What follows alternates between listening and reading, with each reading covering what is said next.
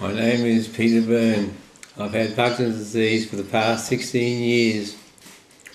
And, and three years ago I had the deep brain stimulation operation, which, after which I lost my speech.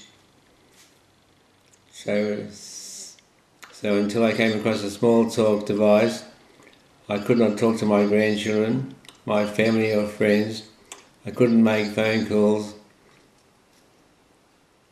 I can make phone calls now and I've doubled my phone bill. I want to show you how I speak without the device using the rainbow passage. The rainbow passage, when the sunlight strikes raindrops in the air, they act as a prism and form a rainbow. The rainbow is divided into white light and many different colours.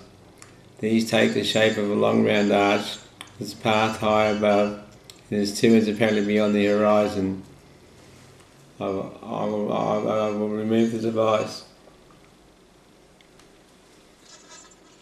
When the sunlight strikes raindrops in the air, they act as a prism and form, form a rainbow. Members of vision white light into many beautiful colours. It's the shape of a long red arch whose path is high above. And the two apparently beyond the be be be beyond the horizon.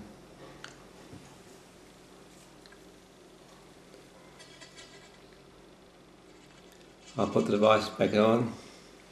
I would recommend it to anybody who has Parkinson's. Thank you very much.